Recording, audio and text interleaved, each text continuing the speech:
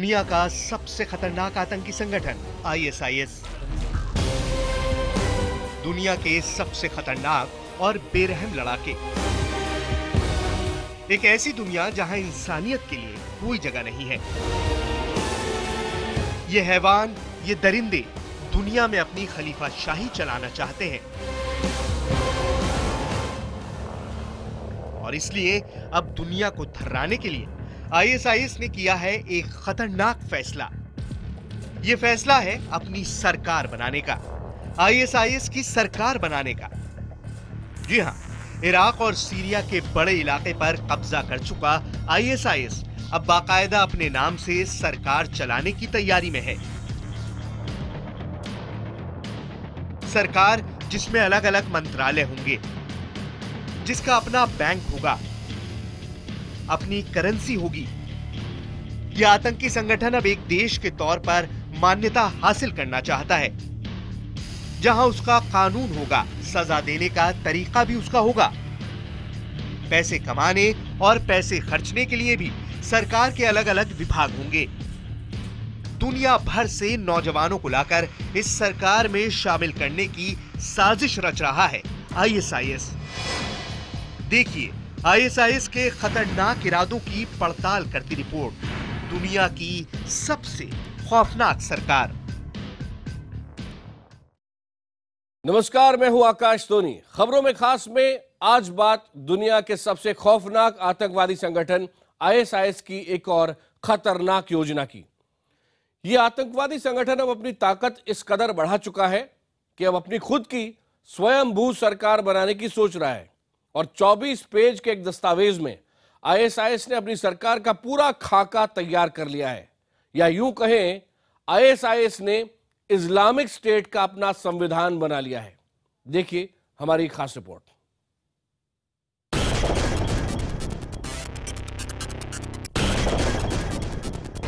बम धमाके, आत्मघाती हमलावर, बेरहम हत्याएँ, लूट खसोट महिलाओं से बलात्कार, महिलाओं की नीलामी, बच्चों की मंडी, सामूहिक कब्रें। 2013 में आईएसआईएस के बनने के बाद से ही दुनिया ने इस आतंकी संगठन की पहचान इन्हीं खौफनाक शब्दों से की है।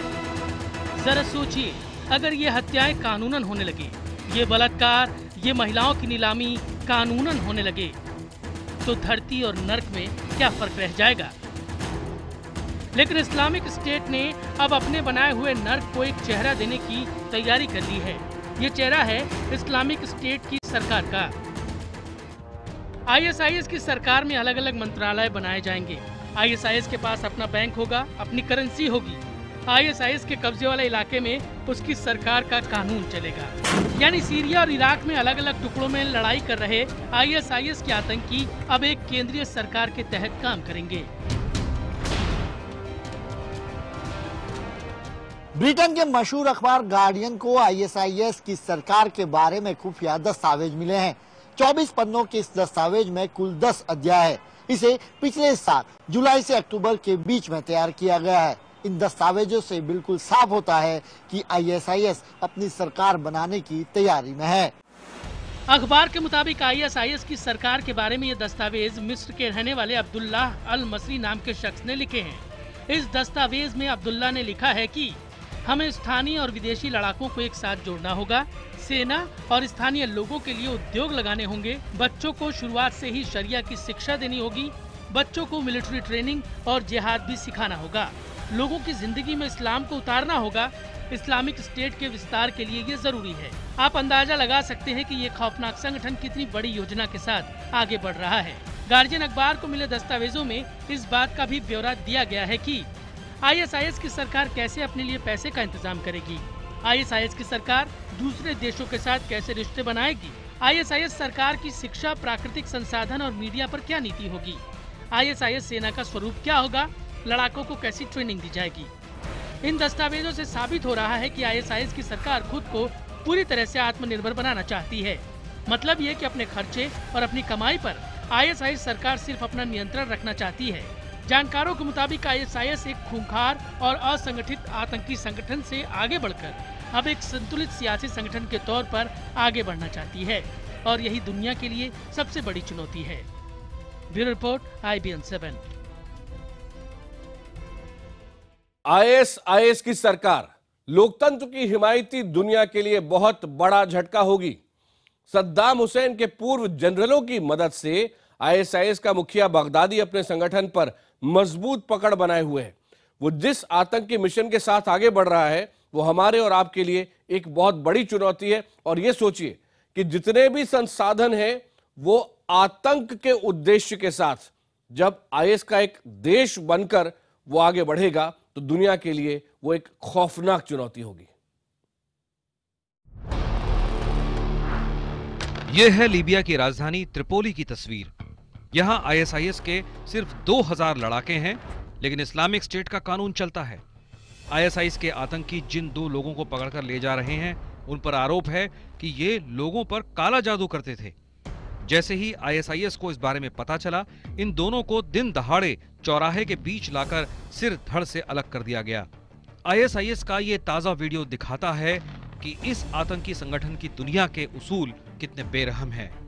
ये आतंकी इराक और सीरिया के बाद लीबिया में भी घुसते जा रहे हैं। सवाल ये है कि सिर्फ़ ढाई साल पहले बना संगठन आखिर कैसे इतने कम वक्त में इतना बड़ा हो गया? कैसे ये संगठन अब अपनी सरकार बनाने तक की सोचने लगा है?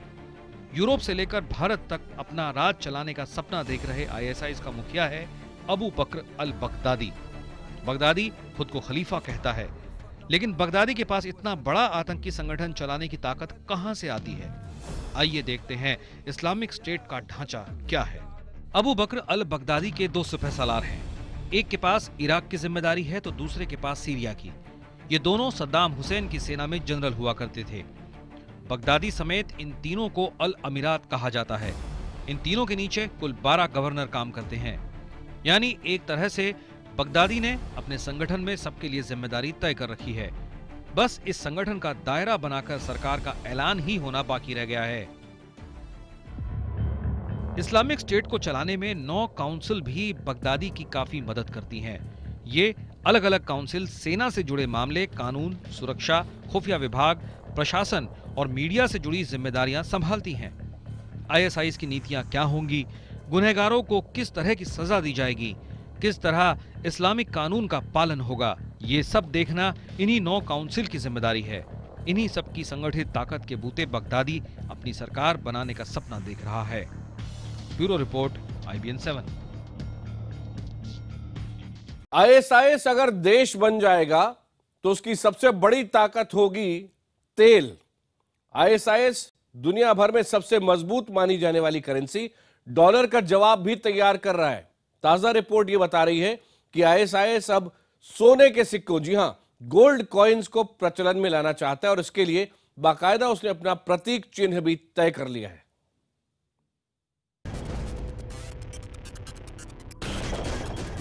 सोना, दुनिया में किसी भी करेंसी से ज़्यादा वजनी, ज़्यादा दमदार, ज़्यादा चमकदार।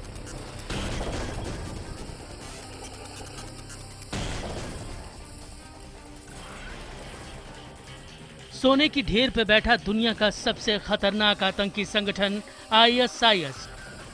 अब अपने मिशन 2020 को पूरा करने के लिए सोने का सहारा लेना चाहता है।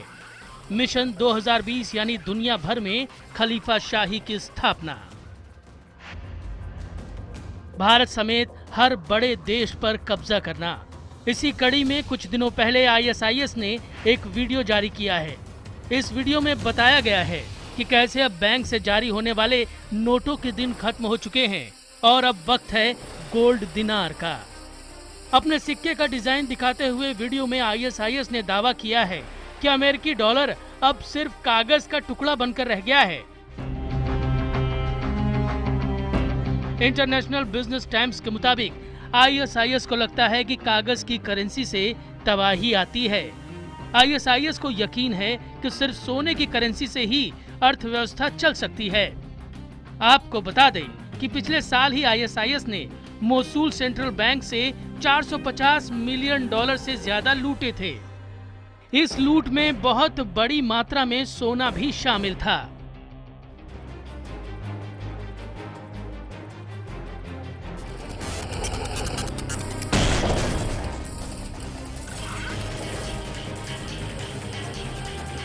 अपने वीडियो में आईएसआईएस ने पुराने इस्लामिक साम्राज्य का ध्यान दिलाया है।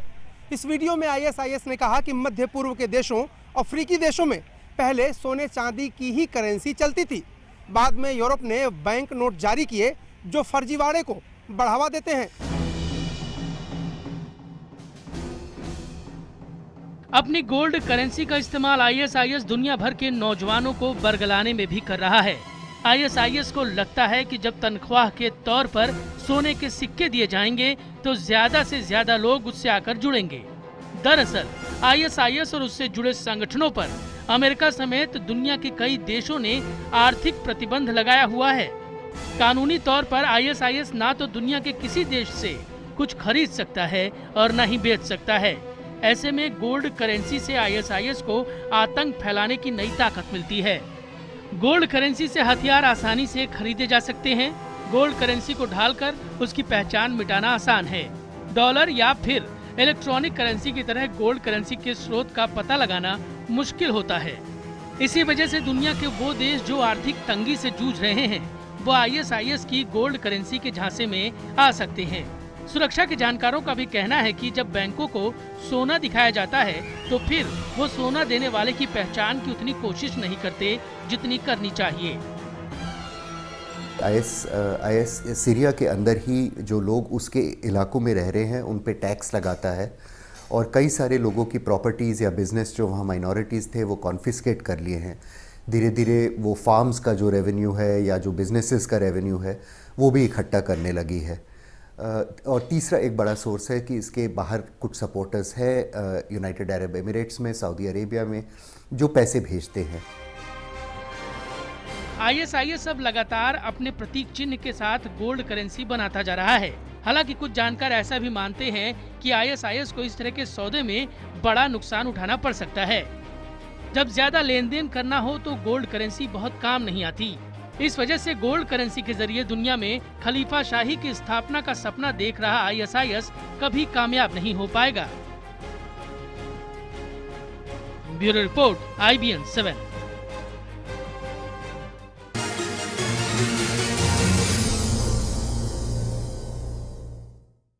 खबरों में खास में एक बार फिर आपका स्वागत है। हम आपको आज दिखा रहे हैं कैसे आईएसआईएस अब अपनी सरकार बनाने की ओर बढ़ रहा है। सवाल ये कि सरकार बनेगी तो फिर चलेगी कैसे? सरकार चलाने के लिए इतना पैसा कहाँ से आएगा? लेकिन आईएसआईएस के पास पैसे की कोई कमी नहीं है। देखिए इस रिपोर्ट में।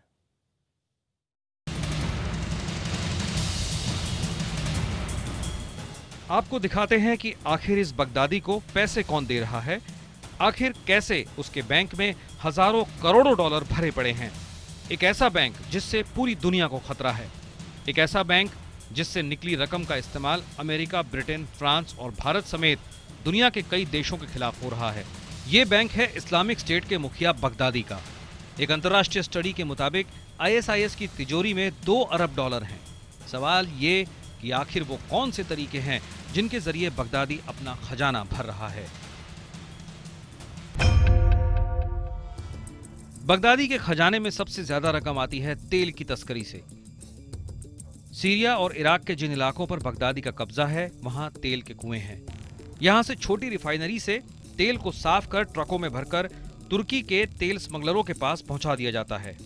ये स्मगलर आईएसआईएस के आतंकवादियों से संपर्क साधते हैं और फिर ये काला सोना आराम से बेच दिया जाता है। इन तेल के कुओं और रिफाइनरीज को चालू हालत में रखने के लिए बगदादी को वैज्ञानिक इंजीनियर डॉक्टर भी चाहिए। इसलिए ऐसे लोगों को जिहाद के नाम पर दुनिया भर से बुलाया जा रहा है। उसने इराक में और सीरिया में कुछ ऐसे एरियाज़ ऑक्यूपाई कर लिए हैं जहाँ तेल है।